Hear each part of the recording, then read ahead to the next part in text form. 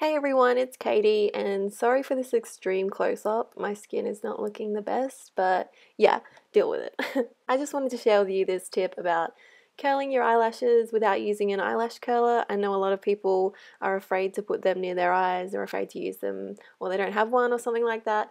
I would recommend you getting a curling mascara. It's not essential, it doesn't really matter, but this one is by Rimmel, it's called the Super Curler.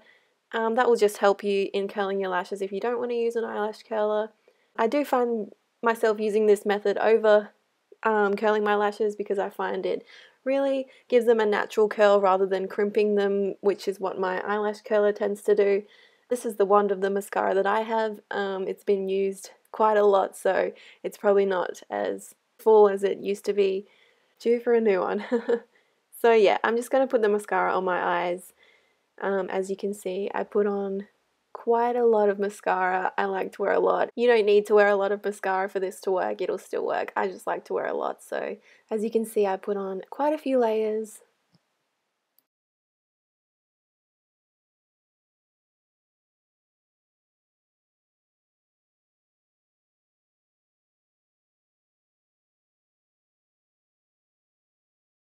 Okay, so now that I've got mascara on my eyelashes and the mascara is still wet, I use my finger as a kind of curve shape and you like hold it against my eyelashes as you can see and I kind of just hold them upwards just so that they have a natural curve when the mascara is drying. So this way they will stay curled because the mascara is drying that way.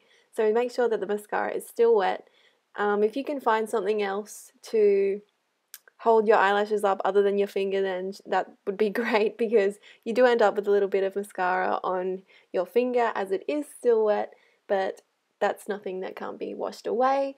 So, yeah, I just feel like that gives a much more natural curl to your lashes and just do it until it's dry. I kind of just move it around a little bit, um, kind of push them where I want them to go, kind of thing. Yep, and there's the mascara on my finger. So, it's not too much though, it's just easily washed away. But yeah, I just think it gives my eyelashes a much more natural curl rather than crimping them with an eyelash curler. So yeah.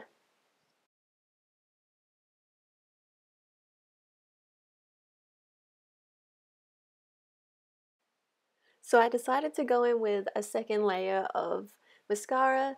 Um, I'll just speed this one up because it's basically the same thing. I just wanted them a bit thicker, so I'm doing it again, holding them while it's still wet, and then basically just pushing them around until I like how they're sitting. So yeah, it's pretty straightforward. You could do this as many times as you want, as many layers of mascara as you wear, um, up to you, really. So that's basically it. That's how you curl your lashes without using an eyelash curler. Um, thanks for watching and I'll see you next time. Bye guys.